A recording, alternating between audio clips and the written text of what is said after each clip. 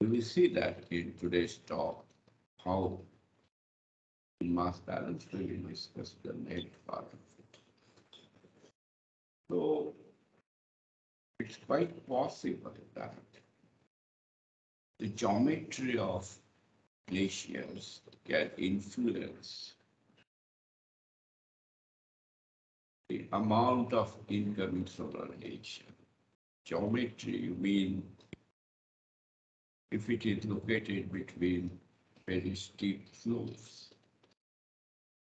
and glaciers is highly elongated and it is a trap between two huge mountain region, both sides they have mountain region, then incoming solar radiation will be influenced because of the presence of mountain. So up to that extent, shape will influence the mate because it is not per se the shape which determines the mate, but due to shape, the incoming solar radiation is influenced. If another parameter is the slope, slope can also determine incoming solar radiation. And so orientation. So if you put the shape under broader umbrella of all these categories, then yes, they influence. But remember one thing, science is incoming solar radiation, amount of incoming solar radiation on glacier surface and glacier characteristics. It means whether the debris cover, what is albedo, what is these are the parameters which influence the method. And incoming radiation can be influenced by shape. I think that is the idea. What is your next question? Uh, my next question is why small glaciers in Himalaya region are showing faster retreat than the bigger ones? What is the actual cause for that? So there are a couple of fundamental reasons for that. Right. One of the key reasons is, is the response time of the glacier. Okay. So what it means is the larger is the glacier, it has a longer depth, bigger depth. And if you have a bigger depth, then it has a larger response time. That is one part of story, and because of that, for a given change in mass balance, it takes longer time to respond to glacier. That is one part of story. Another part of story is most of the small glaciers are located in low altitude region. And if low altitude region means that they melt faster because temperatures are higher at low altitude compared to high altitude. So these are the two fundamental reasons. That is why small glaciers are retreating faster than bigger ones. Next question. My third is the what is the actual cause of uh, Karakoram anomaly? I want to understand is it related to two dominant wind patterns like westerlies or Indian southwest monsoon or it is or is it related to heavy snowfall which is happening there in Karakoram? So uh, we are going to discuss mass balance today, so you will get a better handling on this issue. But since you have raised the issue of Karakoram, Yes. see, uh, we know that we there is significant amount of precipitation in Karakoram received by western disturbance because of the western. Yes. And yes. and the Karakoram mountain is the first mountain, major mountain range when, when that is, uh, uh, when the westerly. না না are- খাওয়া গেছে class হয়ে গেছে তুমি এই সময় বারবার ফোন করো Uh, I think uh, maybe we can mute. huh? So uh, because of that, there is heavy rainfall, if you, sorry, snowfall in Karakoram, no doubt about that. But that does not mean that other glaciers, whether they are located in Leh or they also receive little bit less rainfall, but other mountain ranges also receive a significant rainfall. So the mass balance, because they are not retreating, because they are at little bit stable mass balance condition. So mass balance is also function of the melt also. So one thing is there that this Karakoram, the mean altitude of Karakoram glaciers is much higher than the glacier located in uh, in a in a Great Himalayan mountain range or Pir Panjal mountain range. As compared to that, these are much higher altitude. And top of that, Karakoram also receives higher snowfall. And the combination of these two, as of now, glaciers are so in stable condition. But remember, whenever it comes to the mass balance, east, east and west Karakoram are these two things, which is uh, some.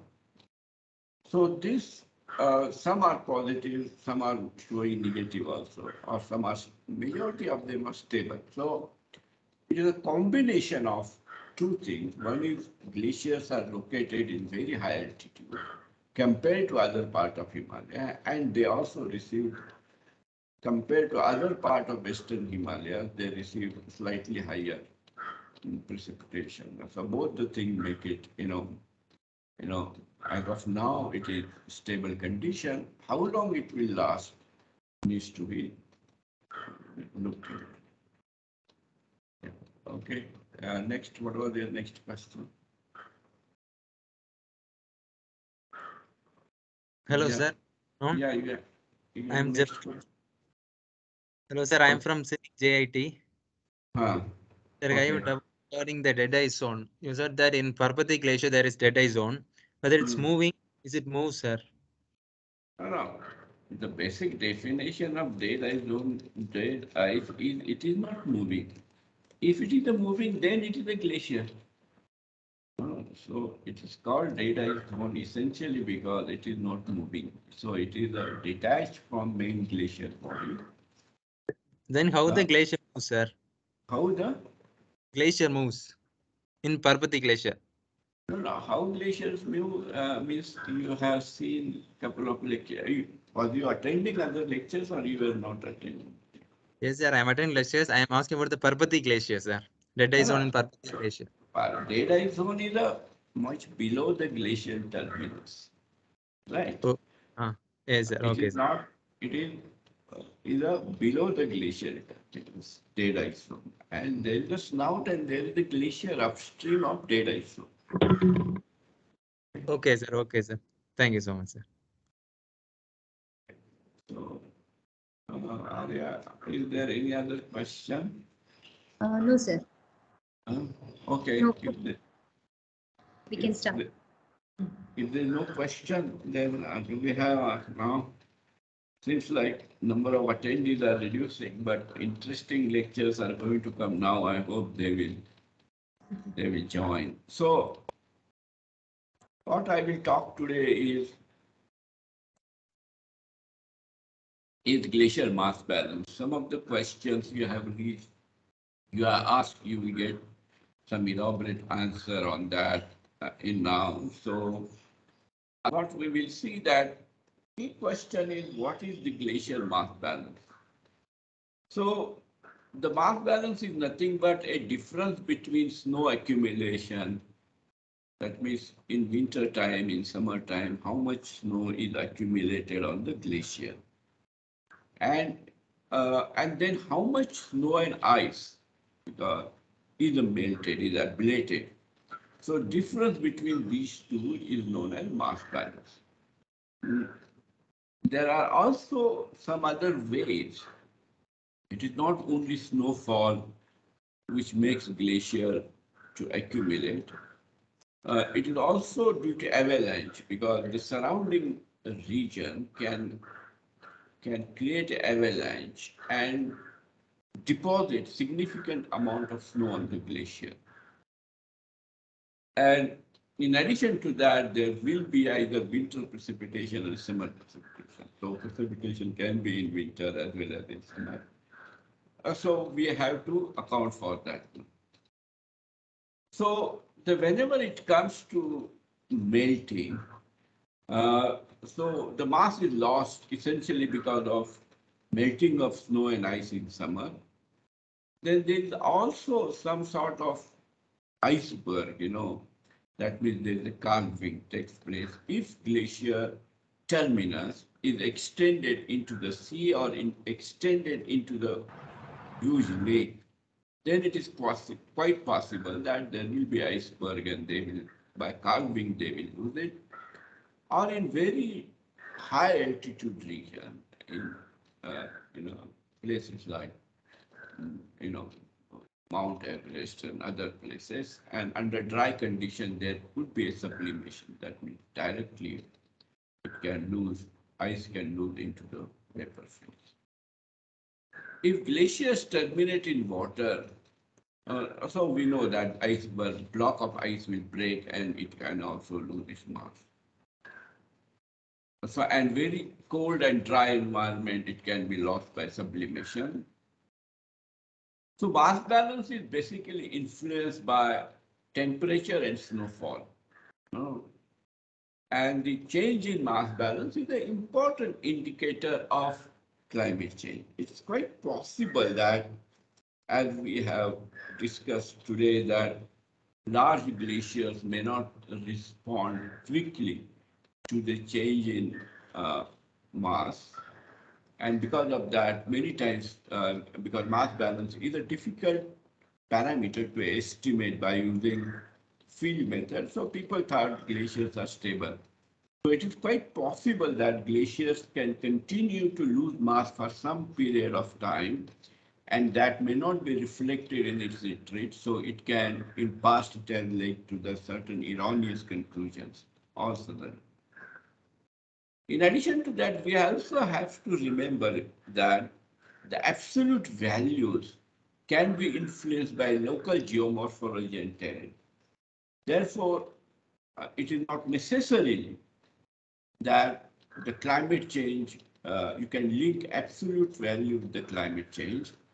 Um, but uh, relative change from year to year can easily be linked with uh, if you have a long data, then it can be linked with the climate change.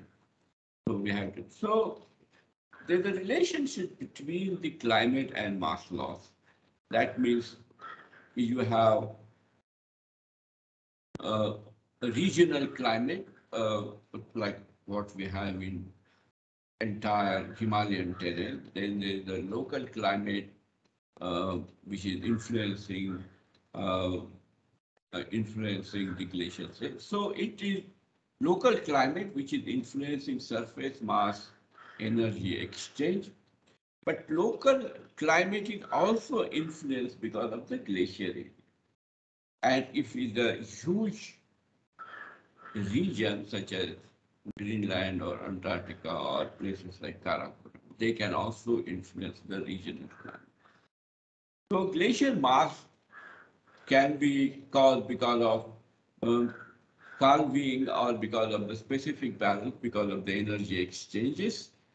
And then there will be glacier-wide mass or drain. As glacier-wide mass and mass loss or gain happens, it also influences the glacier area. Uh, so we have to remember that because change in mass means glaciers will try to adjust to this mass loss and it can in turn influence the regional climate and local climate.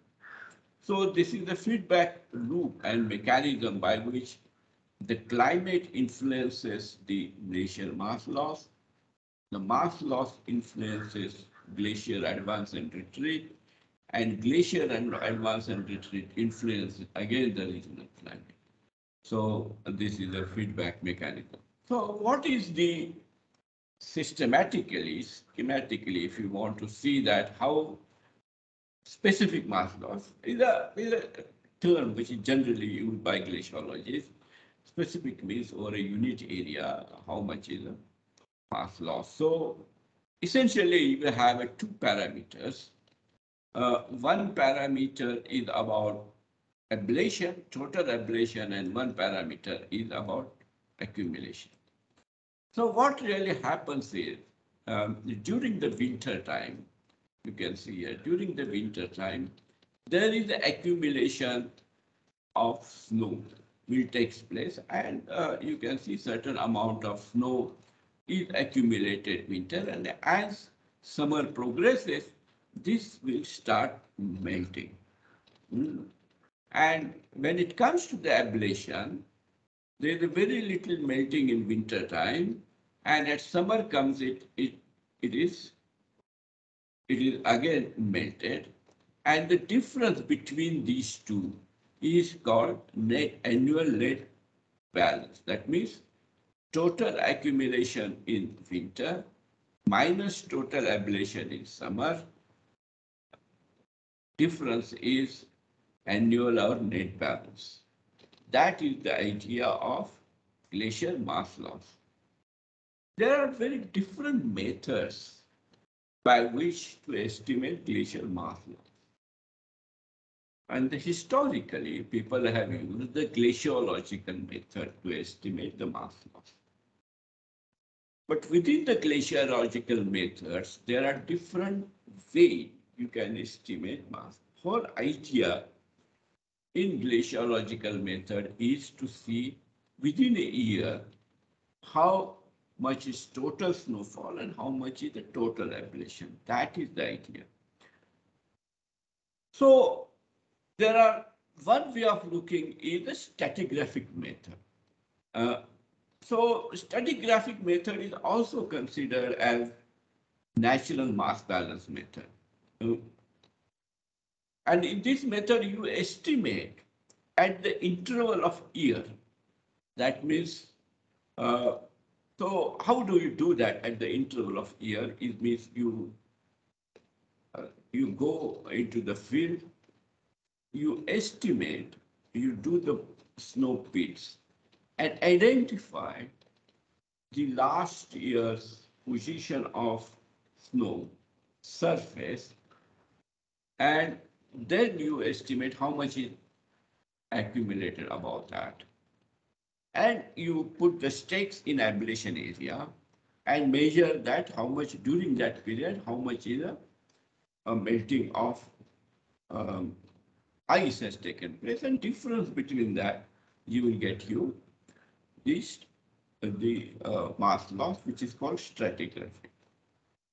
In India, what we use is a fixed date mass. We don't use the stratigraphy. We use the fixed date essentially because it is not easy to frequently visit the glaciers because of extreme weather condition and September 30 is the time when it's quite possible that you can have a major snowstorm and then you can stuck onto the glaciers because of uh, geological survey of India has started to use the fixed date, fixed date. So it is between 1st October to September 30th. That is the date. So most of the mass balance which is done by field method is reported by using fixed date. So remember it is from 1st October to 30th September. That is the year it is created. So this method doesn't require any attention to stratigraphy. Uh, so it is on fixed date you go uh, on the on the 30th September you go and uh, uh, whatever is last year's 30th September you take the position of stakes and then you get the uh, how much is melted you go into the field you you find out how much is uh, take the uh, you take the pit and found out how much is snow there and then you take the mass. Uh, in addition to that, there is also some issue that in many regions of Himalayas, accumulation and ablation are not distinct. Peak period of accumulation and ablation may be same. Uh, and in dry season, the accumulation and ablation may be less. So because of this, this method, which is fixed date method, has a limitation when it comes to the eastern Himalayan that you cannot use uh, because accumulation and ablation is. Therefore, and but since accumulation and ablation is a continuous process, then what you are going to get can only give you net. That means that how much is remains at the end of year only you will get. So it is only net. You don't get gross. What means is that there is some accumulation of snow in between the year and melts it. We don't know about that. What we know is what remains at the end of the year. So that is what it is called a net mass loss, not, not a gross one.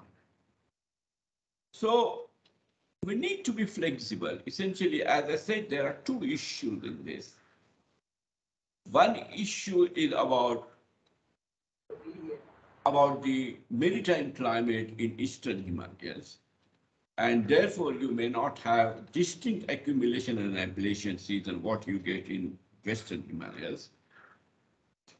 So you need to combine that both to get the realistic result. That means that when you take take the uh, pit into the snow pack, then you should be able to identify last year's snow accumulation, last year's snow position. That means you can get above that, uh, how much is accumulated this year. So some kind of technique where you can use both things uh, is required and uh, that is how uh, you can get the better result, I think. Uh, so let us understand how these glaciological methods are applied.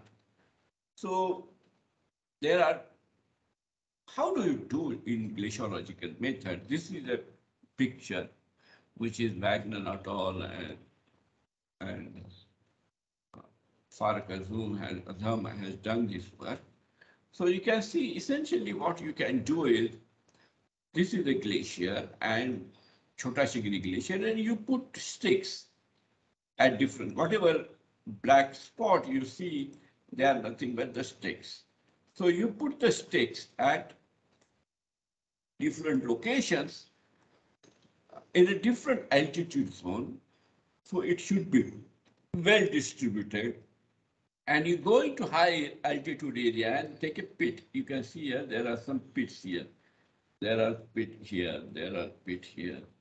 Uh, so there are pit here. So you take the pit. So what you essentially you do is you measure how much is ice melted here. You take a pit and, and say how much is snow remains there. And then you try to get the mass loss. So one of the difficulties uh, in this methodology is is related to the stakes because you can have a lot of stakes in lower reaches in this region where there are huge amount of debris cover and because of that stake doesn't stick, they may fall. And how much is the representative of that region needs to be, there is not much clarity. When it comes to the uh, pits, there are very few and we say that this this is the it is representative of large area. So we have a spot observation and then we try to make that spot observation to a large geographical area. How accurate it is how reliable it is it is not very uh, clearly understood. That is essentially because we know that in undulating terrain uh, and in the mountains the accumulation will change snow accumulation will be significantly influenced because of the topography. So that is also an issue. In addition to that, the accuracy of map, that is also a very critical issue that uh, many times it is very difficult to find out where that glacier ends and where that new glacier starts. Or it is quite possible that uh, if you have this glacier and adjacent to that, there will be a lot of seasonal snow. And it can remain there for some time and then you can call this glacier is entire, this area is a glacier, but reality glaciers will be like this. So you are inflating the area because of presence of seasonal snow. So all these things add error into the into the your measurements, making it very difficult. Uh, so it adds significant amount of error into your result. Then there is also calving, but if you use the classical glaciological method, the calving will only can come only if if you every year keep on modifying your map. If you are not able to modify your map every year, it, it will be difficult for you to assess how much is lost due to calving and up to that extent, error can come into the results.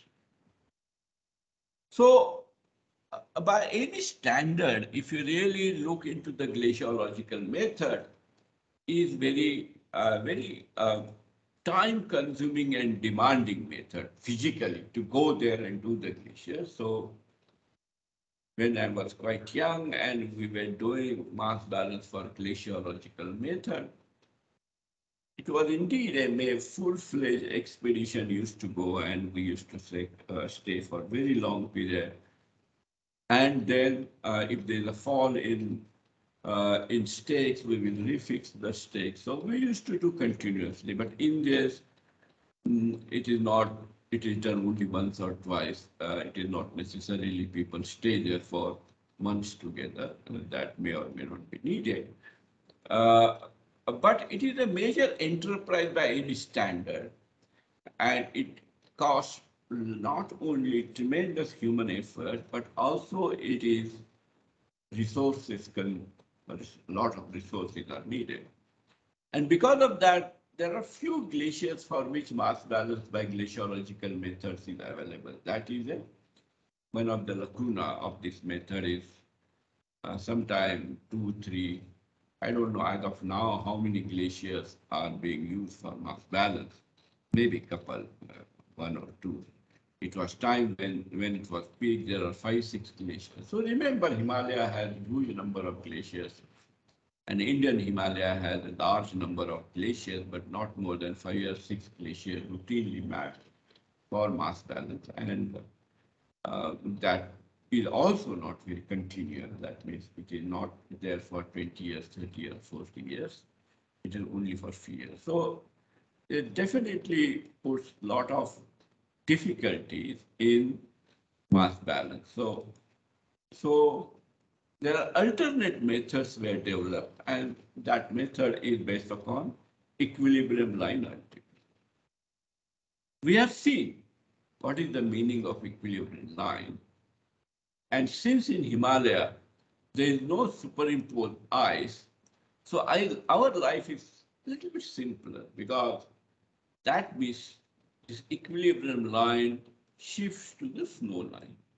Okay, and since it shifts to the snow line, it is possible for us to delineate the snow line in satellite image. So it is obviously a possibility for us to delineate snow line um, and then then then conceptually develop the idea what is the relationship between the snow line and equilibrium. That's the idea. We need to do that. So look into the equilibrium line. So there's a lot of confusion in many people's mind. What is the equilibrium line? Because basically there are two ways you can determine the equilibrium. And because of that, there is a confusion. There is no need to have a confusion, but it was, it is indeed there. So if you look into the into the old literature or those people who are predominantly using glaciological method, for them,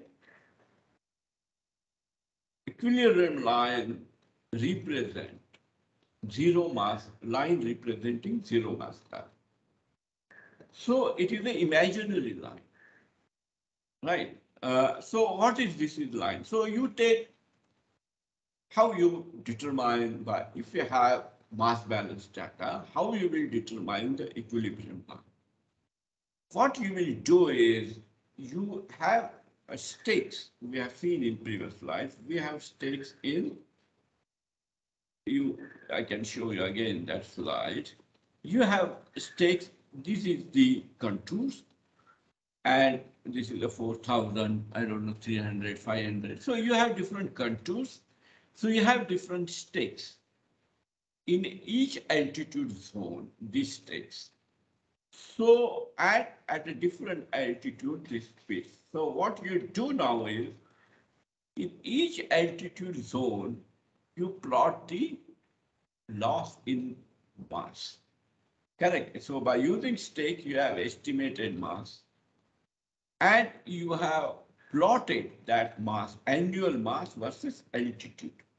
So this is from Chota Shigri Glacier, the 4,200 to 5,600 meter. So you plot this graph and these figures from each altitude zone and whenever it cuts, when you go very high altitude, there will be a positive mass balance. So wherever this cut to the zero mass balance is the equilibrium line. So what it means is if you take one year, for some year, the equilibrium line, which year is this? Let me check.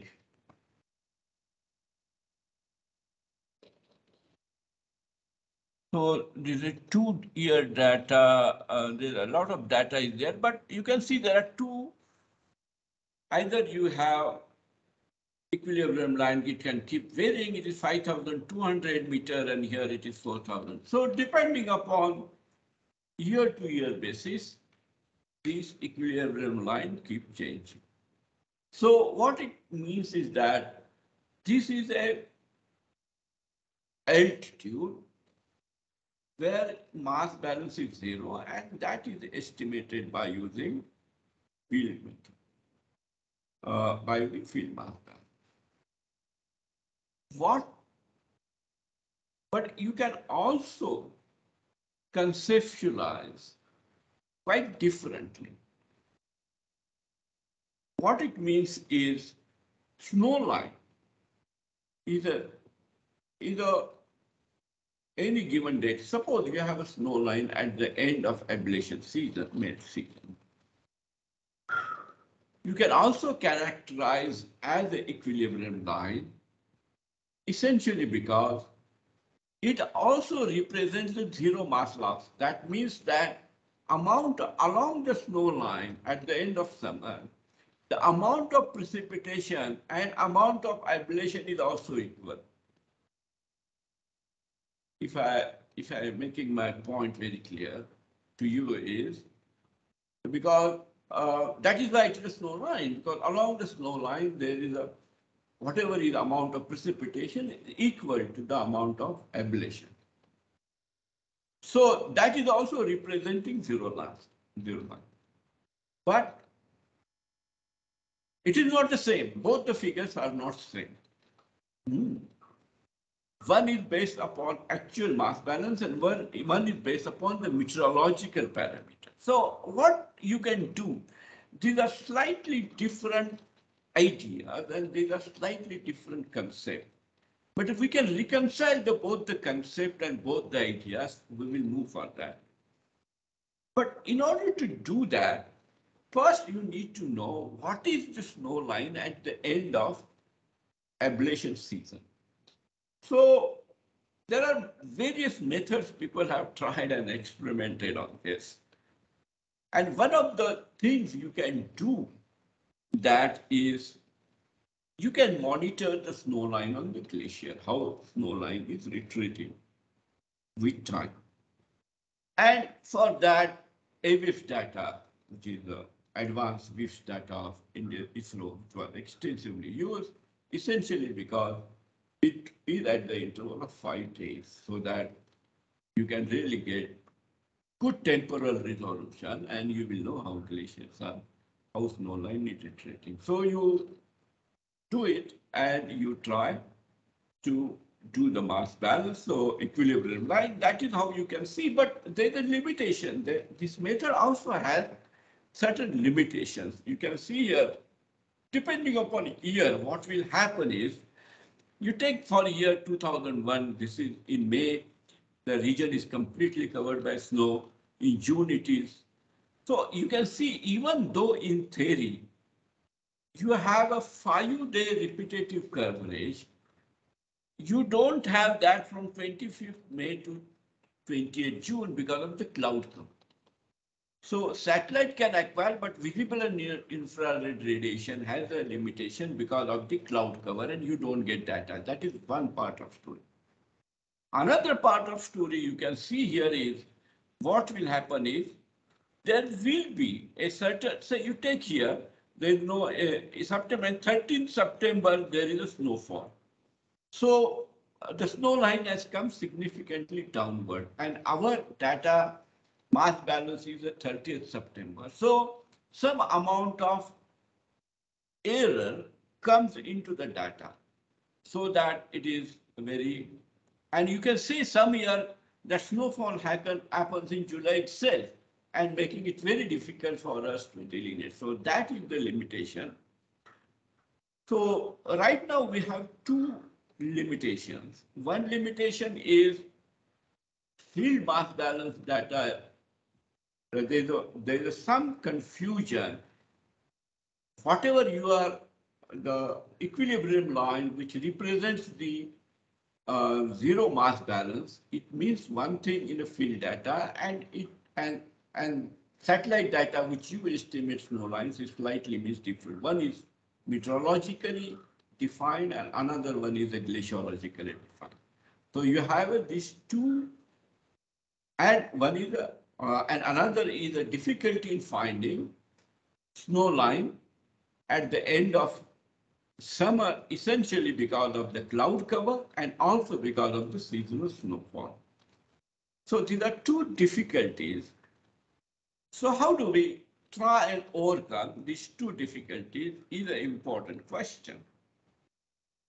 Uh, so let us bring this thought further uh, and then we can come back to this those ideas. So what it, you can do here is what is basically done is the first idea is uh, suppose you have by some or other means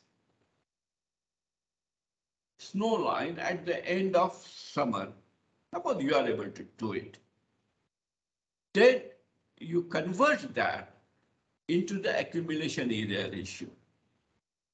And you can estimate the mass, mass loss. Now, this relationship which you develop, this accumulation area ratio, there are two ways you can estimate the accumulation area ratio. One way to estimate the accumulation area ratio is you take the ELA, which is calculated by using glaciological method. Or you take the ELA, which is estimated by, by remote sensing method. If you take it by remote sensing method, and then you correlate it with the mass balance to, which is estimated by glaciological method, then you are reducing your error. If you take the AAR by field method, then that relationship is not easy to transfer. So there is some more error into it. So we need to address this issue by this way. You can combine AAR, which is obtained by re remote sensing method, with mass balance, which is obtained by glaciological method. In that sense, you can reduce error, your error. Another key issue comes is what will is caused because of seasonal snowfall and because of the cloud cover, you don't know what is the end of end of season, what is the area. So this method is one of my doctoral student has developed this idea of using temperature index and then enter into the AR model. So what essentially you do is you get the winter precipitation and get the accumulation model. What it means is that uh, there are certain areas where implemented into it. That means by using certain amount of uh, precipitation index, that means you have observation at one point, uh, which is slightly lower altitude, then by using this precipitation index, you can estimate how much is accumulation of snow in a different altitude. That is the idea, you can use it. And by using the temperature, you get the temperature index model. That means in different altitude zone, there is a lapse rate. And you estimate how much melt is taken place in different altitude zone. And by using temperature index, you can estimate the melt in various altitude zone. So for a given altitude zone, you know how much is accumulation and how much is ablation. So then you can uh, run it till 30th September and, and then estimate the equilibrium line altitude. So this equilibrium line altitude is an imaginary altitude ELA and then use the accumulation area ratio. So key question in your mind must be coming when you have built an accumulation different altitude zone, why not use it and convert into the mass balance? Because that is what mass balance is all about. But difficulty comes in this because, see, snow is a one, one parameter where you can predict how albedo is going to change. Essentially because uh, snow albedo is relatively high and uh, you can get it from, uh, there are, within the range it moves and therefore uh, different part of year you can know. But moment ice is exposed, then there will be a debris cover, there will be water or ponds on it. So it gets very complicated. It is possible to model it. It's, I'm not saying it is not possible to model it, but that modeling has to be glacier specific. You cannot apply for large geographical area. Since we wanted to use it for area, we and our experiment suggests that a temperature index is not giving a really good result. Therefore, we did it with AR and then estimated mass balance. So in a sense, you are reducing the influence. You are only using temperature index to estimate the equilibrium line. And then from there, you are taking conventional AR approach and then estimated mass.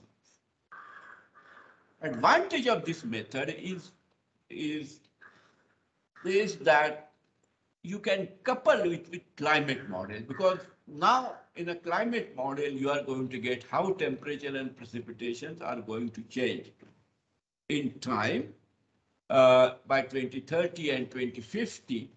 So what essentially you can do is that you will be able to estimate that how in future precipitation and temperature will change, plug into the model, and then you estimate the future changes in ELA as we have stated there, and from there you can change the future mass loss.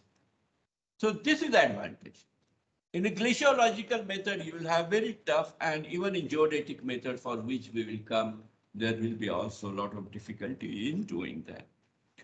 So this is the method which has been extensively used now, and this is the work you can say that from 1985 to 2009, how equilibrium line, uh, this is Siley's work, you can see that how equilibrium line is going to change, has changed, and it is slowly moving upward.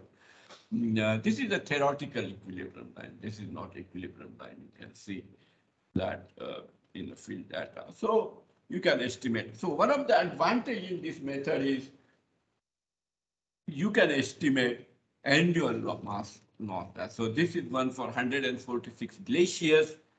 We have estimated mass loss. So such estimates were anyway not available for um, for a large part of Himalaya. So this is the first time we have given estimate.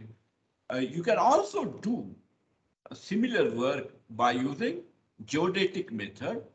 Uh, but limitation, there are two fundamental limitations of geodetic method. That means one fundamental limitation of geodetic method is you will get it for certain period of time. That means 10 years, 15 years, period only you will get. You may not get the annual mass loss. And second thing is, it is not, you are not putting any meteorological or temperature precipitation in it. Therefore, you cannot predict it for future. So if you want to know how to predict for future, you have to use some sort of this um, arrangement where input is, uh, is a meteorological parameter. So this has been extensively used now, and you can see here that mean annual loss, it is estimated for entire Himachal Pradesh and uh, so it is around 3000 glaciers in Himachal Pradesh and the glacier area is 3000. So mean annual mass loss is 1.65 gigaton per year and the total mass is 174 gigaton. So, uh, so this is how you can really estimate that how glaciers are going to lose mass on large, large region. Uh, so you can also um, look into geodetic mass balance, but the future change will come later on. So uh, there are different methods and different ways of doing it. So we will come to that later on. Another thing is geodetic mass balance, uh, which you can use as a. So geodetic is an indirect method to determine glacier mass balance. You essentially measure the elevation change, glacier surface elevation change at two, at two different points. Two different points means and, and, and time domain at two different period and uh, and then you compare it and the difference in thickness and will give you uh, and by if you know your density you can convert it into masses. You can also get a very high quality DEM if you use the differential GPS. So this method is, is commonly used in this day and in here in Divecha also we quite extensively use this method to estimate. So essentially how you can do it. You can do it by using satellite images. You can do it by using aerial photograph as well.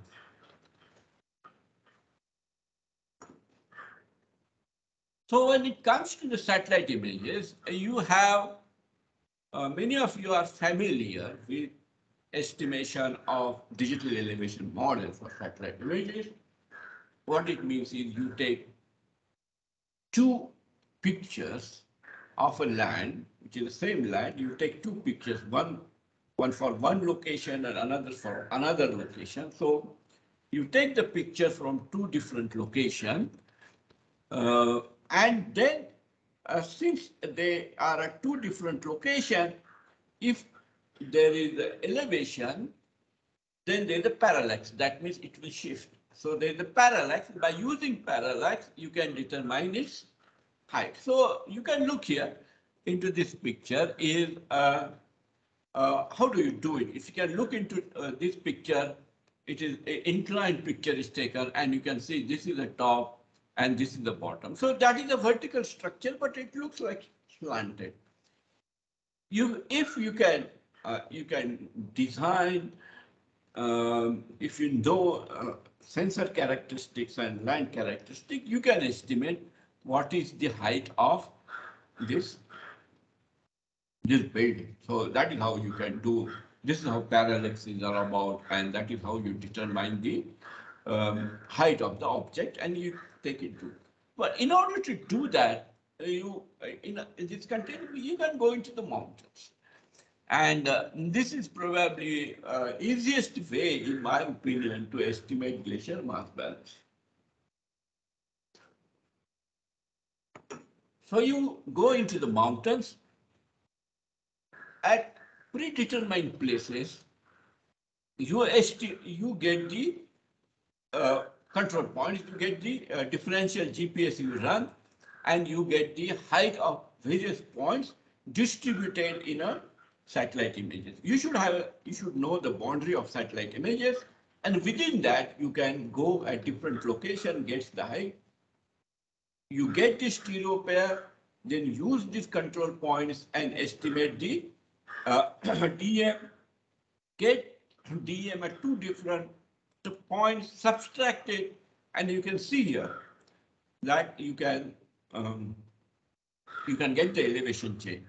The beauty of this method is it is not necessary for you to do field uh, that uh, GPS data collection and the satellite data observation could be quite different. There's no need that. You, you have to be just smart to ensure that you take this observation at stable places, stable places, and then you can do it. So uh, just control point you can continue to use for very long period. So that's the idea. So this is extensively used uh, in these days, but as I was saying to you earlier, it has its own limitation to do it, and limitation is you don't get the annual mass loss, and you also don't get the the uh, future change is not able to do it by using ge- uh, geometry. But whether you use uh, uh, uh, whether we have used this uh, AR method or glaciological method, or you use geodetic method. They are glacier specific methods. That means we are going to get mass loss for a glacier. But if you have a large glacier, like say, entire mountain range, Himalayan mountain range, and even if not Himalaya, entire Karakoram and Western Himalaya you take, there are thousands of glaciers are there. This is going to be a major task for you to do it.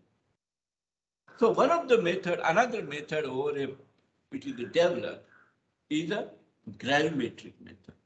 So it is using uh, the GRACE method the GRACE satellite use and what fundamentally it is using is the change in the gravity is determined uh, as aircraft moves from one place to another place. Suppose aircraft is moving from non-glacier area or a glacier area and then non-glacier area.